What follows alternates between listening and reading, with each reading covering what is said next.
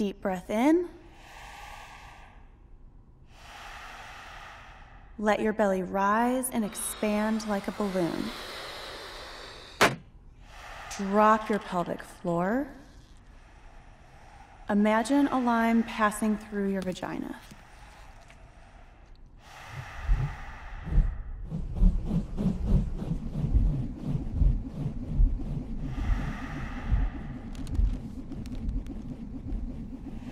It takes great mental energy and focus to move muscles that you've never consciously moved, muscles that you're not even allowed to talk about. I have vaginismus.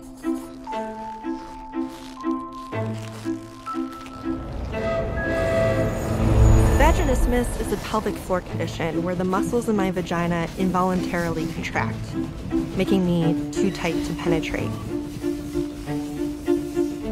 It's why I'm in my mid 20s and have never had a boyfriend, fallen in love, or had sex.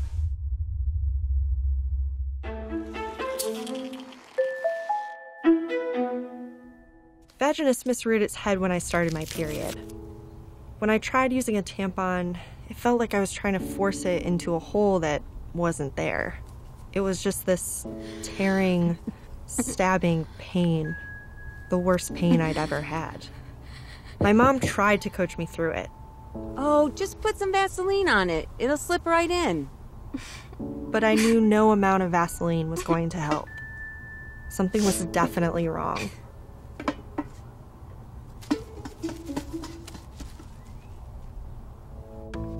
I learned to hide the secret very well.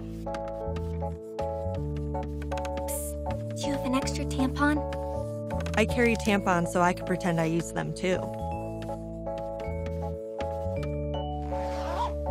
I picked dresses with big, full skirts for proms because I had to hide panty lines and pads.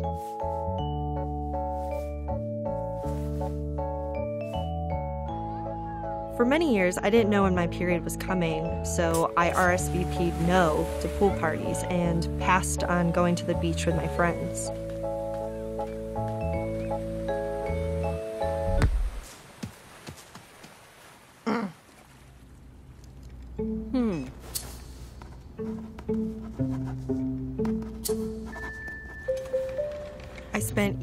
Years visiting countless doctors who couldn't tell me what I had or how to fix it.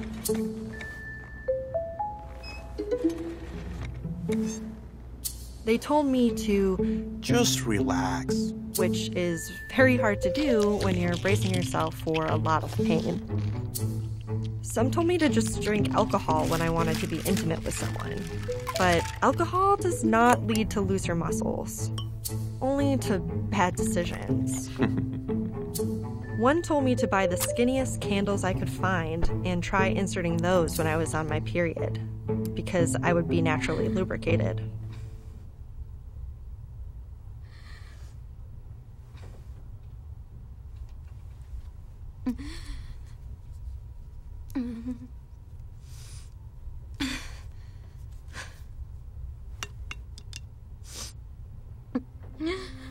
I didn't think I'd ever be able to do it.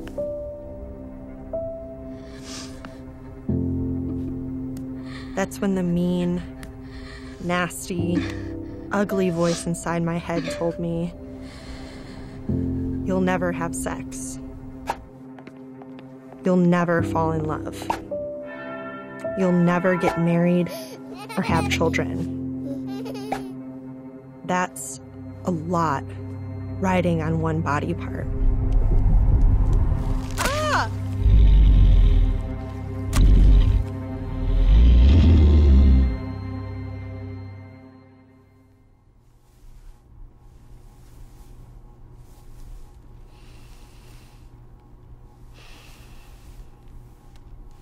It wasn't until I was in graduate school that I was finally referred to a physical therapist who specialized in pelvic pain.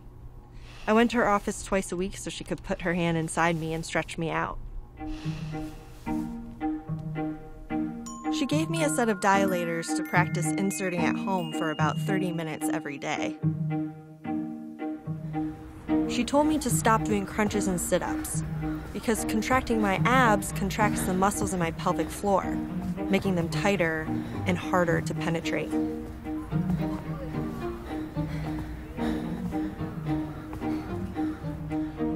She helped me realize that my physical pain and emotional pain are inherently connected. Physical pain makes me anxious about penetration and intimacy. In turn, the anxiety causes my muscles to squeeze tighter and tighter and tighter. It's not an easy cycle to break.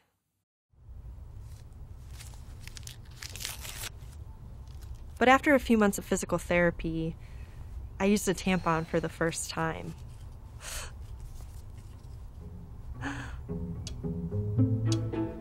Now I wanted to achieve my next goal because I felt the clock ticking, the big V word looming over me. No one wants to be a virgin in their 20s. I'd been dating this guy for a few weeks and I decided to just get it over with.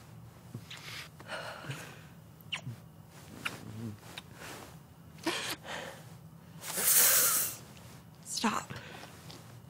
Stop. Stop. What's wrong? So, I have this thing. I haven't had sex before because I can't. That's hilarious.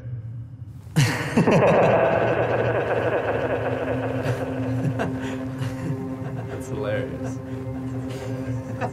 There's nothing worse than being rejected for a part of yourself that you're working so hard to change. A part that has caused so much pain. A part that has pushed people away. Just because I can't have sex right now means I'm not enough for anyone. What if I never will be? That's hilarious. go, I'm happy for my friends, but sometimes I have trouble finding interest in their love and sex lives. Most days, I don't think it's ever going to happen for me.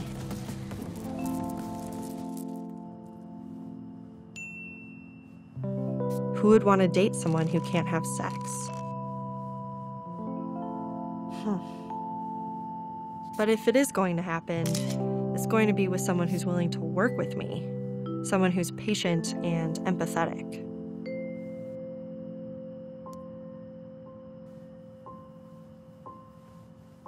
Will he show up tomorrow? Six months from now?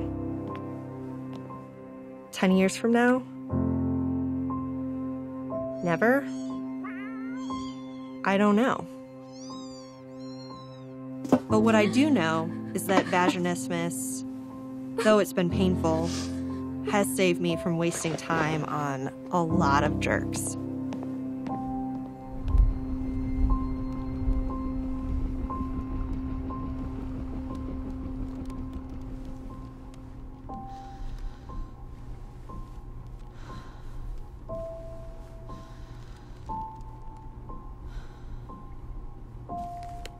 All right, see you next week. Yeah, I'll be here.